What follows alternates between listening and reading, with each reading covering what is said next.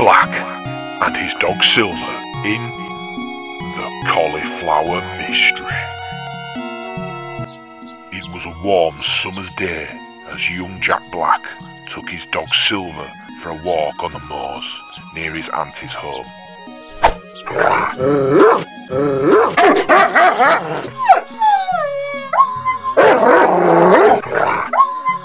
What's the matter, Silver? What have you found? Why, it's a cauliflower! And tire marks, too. Fading away.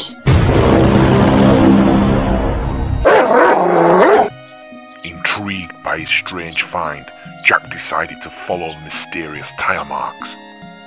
They led him to an isolated farm high upon the moors. Gosh! A mysterious lorry. And strange men talking. They must have left the tire tracks. Wait till I tell Aunt Jessie about this. Orphan Jack lived in a cottage with his Uncle Dick and Aunt Jessie. And after we found the cauliflower, we followed the tire tracks to a remote farmhouse. It looks very nice. We could have it with cheese for our lunch. But Aunt Jessie, don't you see? The big lorry, the stranger's talking. Something mysterious is going on, and I have to get to the bottom of it.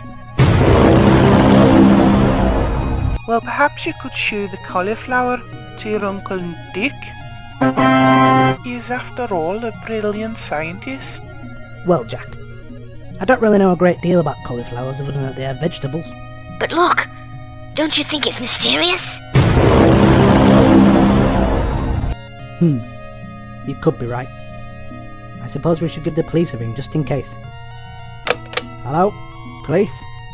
We'd like to report a cauliflower. I see. Now, uh, why don't you just slow down and tell me exactly what happened? That evening, a police constable called at the cottage. As soon as we received your message, we telephoned all the vegetable producers in the area. And sure enough, one had been transporting cauliflowers across the moors this morning.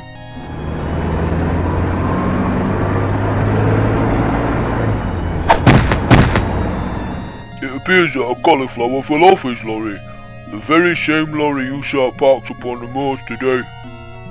So the cauliflower must have lain by the roadside for several minutes until Silver found it. That's right. You never know. There could be a reward of anything up to 500 pounds in this field, Jack.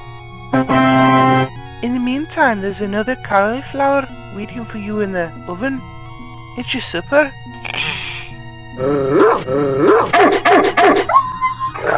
Ooh.